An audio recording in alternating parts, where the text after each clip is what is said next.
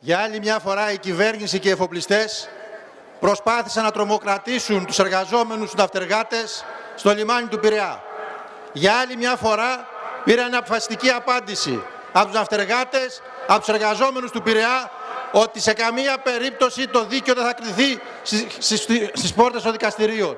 Το δίκαιο θα κριθεί στους καταπέρτες των πλοίων, στις πύλες των εργοστασίων, στην πύλη Σκόσκο. Σήμερα δεν κινήθηκε προπέλα, δεν, δεν δούλεψε γερανογέφυρα, δεν έπεσε σφυρί στη ζώνη. Ο Πειραιάς απήργησε και έδωσε ένα μεγάλο μήνυμα και ένα μεγάλο μάθημα στην κυβέρνηση.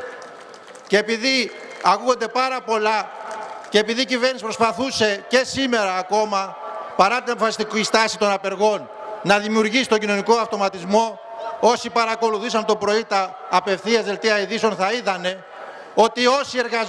επιβάτες ρωτήθηκαν, εκφράσανε όλη τη συμπαράστασή τους απεργούς και κατακρίνανε όλη την κυβέρνηση για τη στάση της για το νομοσχέδιο έκτρωμα.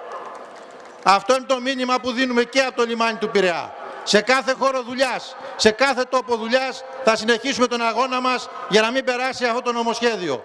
Σε καμία περίπτωση, με μαζικές συνελεύσεις, με μαζικές διαδικασίες, με καλύτερη οργάνωση στα σωματεία μας, με περισσότερο κόσμο θα δώσουμε τη μάχη όπως κάναμε τόσα χρόνια.